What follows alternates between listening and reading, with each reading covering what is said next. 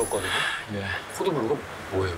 저 방송을 할 때 여러 가지 부르는 코드가 있는데 막 심장마비, 심장마비 막 이렇게 하면은 환자분들 아, 놀래시잖아요.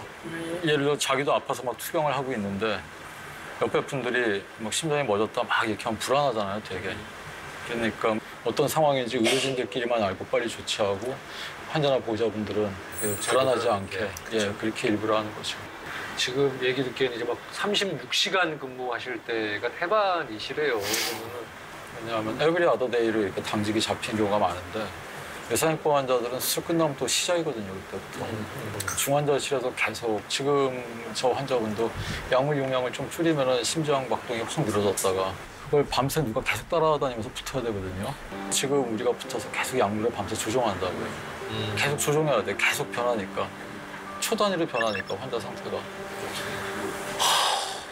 그러면 그 다음날 만약에 좀 자놓지 않으면 그 다음날은 또 당직 들어가잖아요. 그러니까 4일 뭐 이렇게를 전혀 못 자는 상황이 되니까 그러면 옛날엔 그래서 버텼는데 요즘은 못 버티겠더라고요.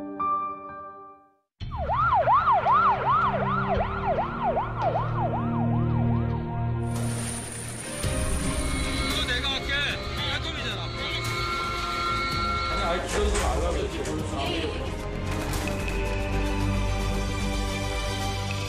수압 환자가 병원에 도착해서 1시간 이상 걸려서 수술방에 올라간다는 거는 우리는 한마디로 중동국가보다 못한 겁니다.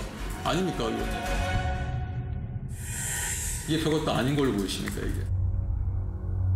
지금부터 선생님 얘기를 한번 좀 들어볼게요.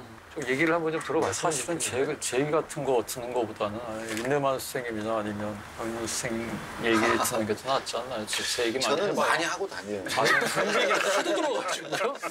교수님이 아무래도 오늘 우리 중심 게스트니까 얘기 많이 좀 듣고 아, 싶은데 어떻게 이렇게 어떻게 이렇게 언어를 언어를 영어도 잘하시죠. 아직 멀었어요. 지금 다 언어에 뛰어나신 분들이잖아요. 작가분이고 뭐 선생님이야 뭐 언어에 마술사고.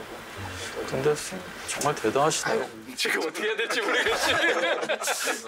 그래도 거꾸로 한번 저는. 왜냐하면 선생님이 MC고 우리 게스트인 것 같아. 어, 당황했어, 당황했어. 어, 어.